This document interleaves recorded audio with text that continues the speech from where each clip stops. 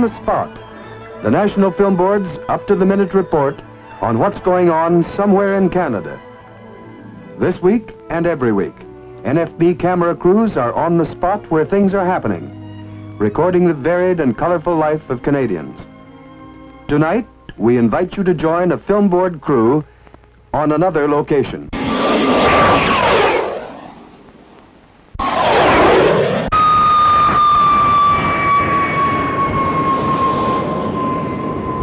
This is Fred Davis speaking to you from Toronto. There's always a great deal of fascination in watching an aircraft in flight, whether it's a small one propeller job or a powerful jet. And we're constantly hearing about the latest developments in aircraft design, both for civilian and defense needs. And an important part in this aircraft designing is whether or not the new aircraft meets the expectations of the design team. And that's where the test pilot comes in.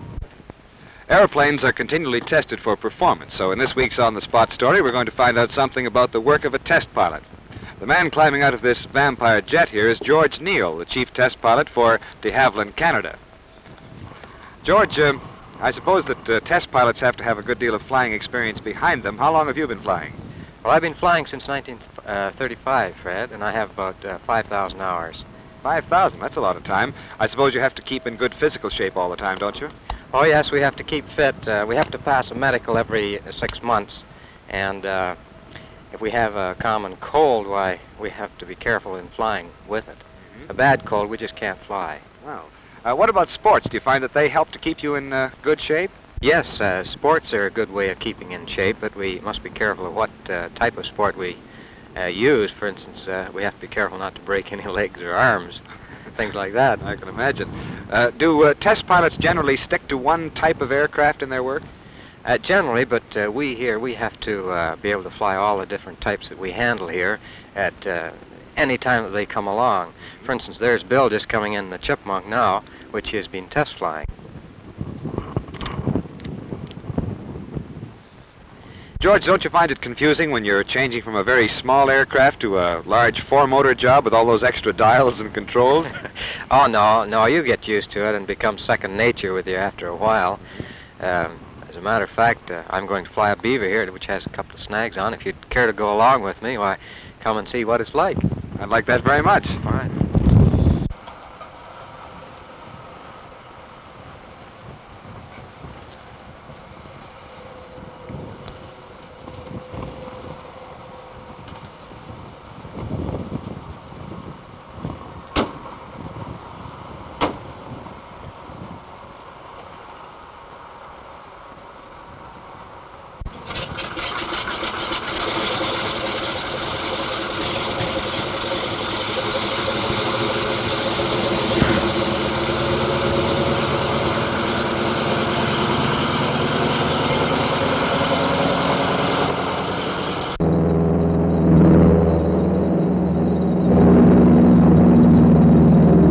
Uh, now, Fred, I want to check the uh, trim of the aeroplane to see that it'll fly hands off. See that the wings will stay level without my hands on. You sure you can do this, eh? Well, I, I think so. It should be trimmed all right. I'll just see.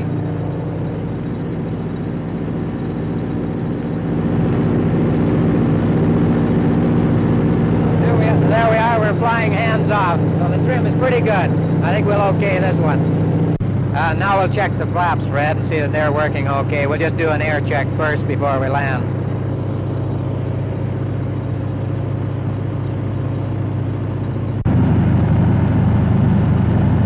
There's the flaps uh, down to the landing position. They seem to be working all right. They're quite solid, so that's fine.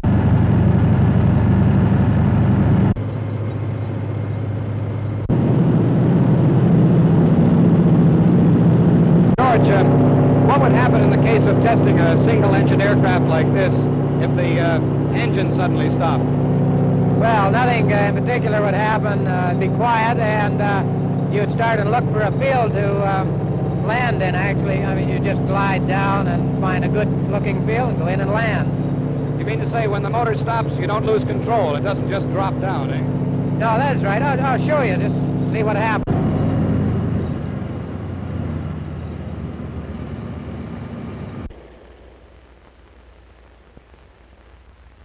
Now the big question is, uh, I, I trust you've done this before. Can you get us out of this? Oh, sure. I'll start it up just, just quick.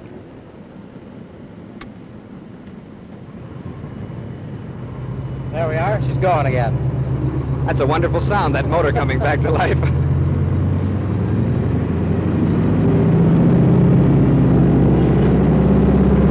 George, uh, which one of these indicators tells us how fast we're going? Uh, this one, Fred, this is our airspeed indicator. We're going about 130 miles per hour. You mentioned airspeed. Does that mean that it might be different according to the ground? Oh, yes, much different. For instance, uh, if we had a 30 mile an hour headwind, uh, our speed over the ground would only be uh, 100 miles an hour.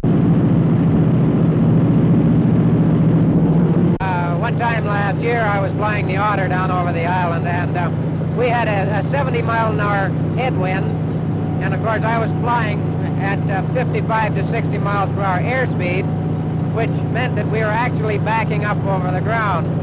Well, this was rather, at the time I didn't notice it, but the people on the ground in Toronto noticed it and they called into the airport to find out what trouble I was in and whether they could help me out or not.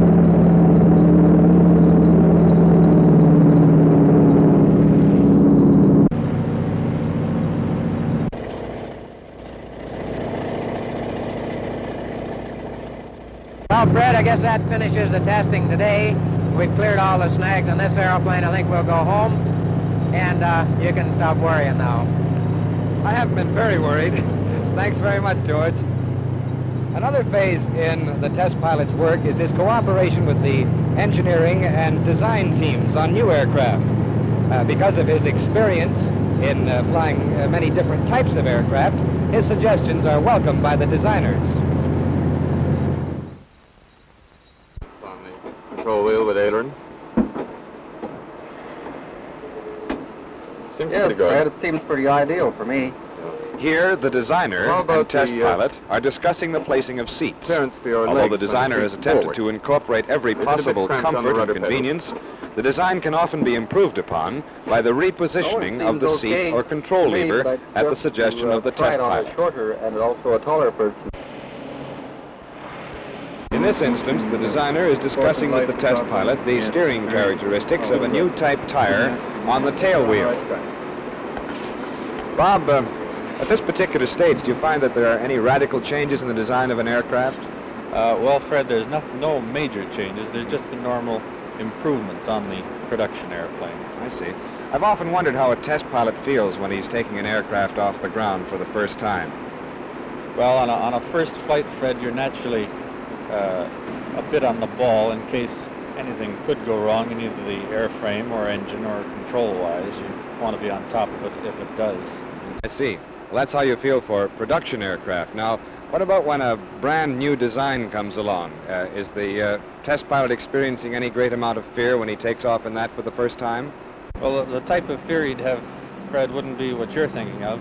Uh, it's more like an actor on opening night. He uh, he's flying the airplane for the first time, and all the engineering and, and design people are watching, and and uh, he has the responsibility for the whole thing. And it's it's more stage fright. He's just uh, a little apprehensive in case he doesn't come through in all departments himself.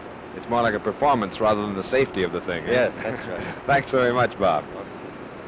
Well, now we're going to see a demonstration of the maneuverability of a de Havilland Otter, uh, which George Neal has arranged for us. And from this, we'll be able to get a better idea of some of the other tests that an aircraft must go through. Even in this jet age, there is still a great need for general utility airplanes, required for use in places which are inaccessible to other types of aircraft. In this regard, the Otter was specifically designed as a load carrier, a veritable pack horse of the air. At full gross load, the Otter, from a standing start, can get off the ground with only a run of 100 yards. This is important where natural hazards such as trees or hills surround the takeoff area. Another outstanding feature of the Otter is its ability to fly at very low speeds. Right now, it's going by at a mere 55 miles an hour. This has many advantages when the airplane is needed for search and rescue work and the dropping of supplies.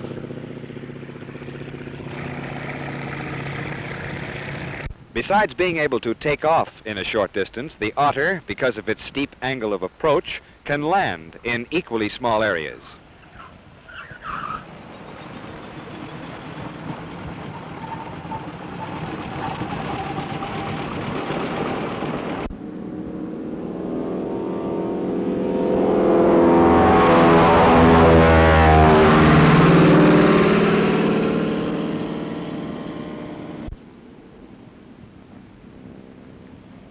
We've just seen a Beaver aeroplane equipped with floats taking off from a special dolly.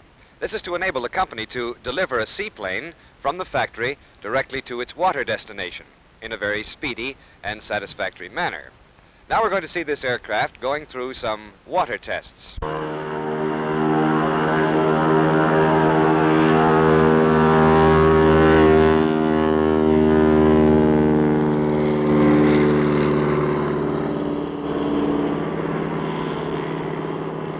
Test pilot taxis this Beaver seaplane so that he can determine if the spray guards on the floats are keeping the water from hitting the propeller.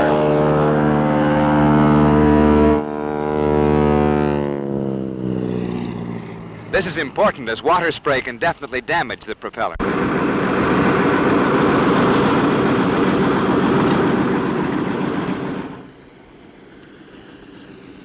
Here the pilot is testing the seaplane for proper radius of turn.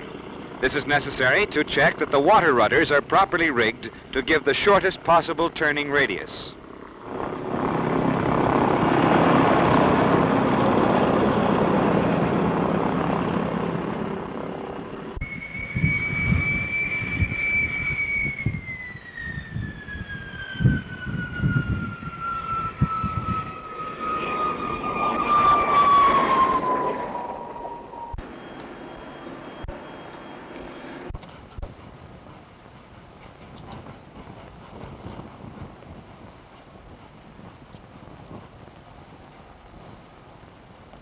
Many people have the impression that a test pilot is a reckless daredevil type of person due to the fascinating and adventurous life he leads.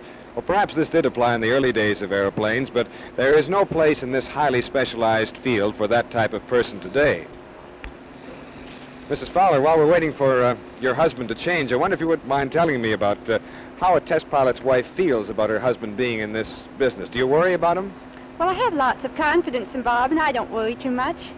Well, what about uh, when you first met him? Uh, did, did it take uh, a great deal of effort to get used to a pilot? Oh, no. My father's a pilot, so Oh. I've been used to flying since I was that high. Now, what about the case of, uh, of another test pilot's wife who didn't have that advantage? Do you think they might worry a little more than you do? Oh, I don't think they do. There aren't many of us in the business, but the girls I know don't. Oh. I suppose one big advantage, though, in this type of work is that he has uh, businessman's hours. He's not away like a, an airline pilot might be, wouldn't you say? Uh, well, he does work nine to five, and he has his weekends, but he does go away on a few trips. He's been down to South America a couple of times. Is that that's for the company, is it? Yes, he's delivered airplanes and demonstrated a few. Oh, I see. Well, I've been finding out some of your secrets, Bob. Thank you very much, Mrs. Fowler. We'll be seeing you, Bob. Bye. Bye. Well, we've been able to observe some of the work done by test pilots. And you know, with all the thousands of aircraft flying safely throughout the world today, his contribution has helped immeasurably in the progress and advancement of this air age. Now, this is Fred Davis speaking to you from Toronto and inviting you to join us again next week at this time when the National Film Board will bring you another on the spot Canadian story.